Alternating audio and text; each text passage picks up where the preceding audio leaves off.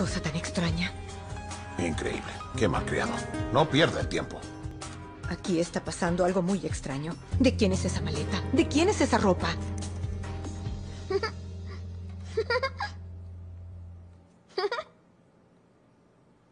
Hija, ¿de qué te ríes?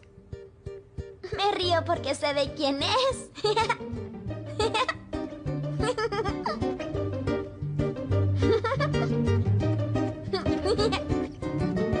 Estos dos se están riendo de nosotros. ¿Cómo pudieron hacer algo así? Por favor, papá, trata de calmarte. Es posible que Daphne esté equivocada. Eso sería aún peor. Se supone que ellos se divorciaron. A estas alturas ya no sé en qué creer.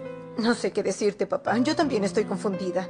Y si Daphne está equivocada, toda esta molestia sería en vano. Finalmente, es una niña. Sí, soy una niña, pero digo la verdad.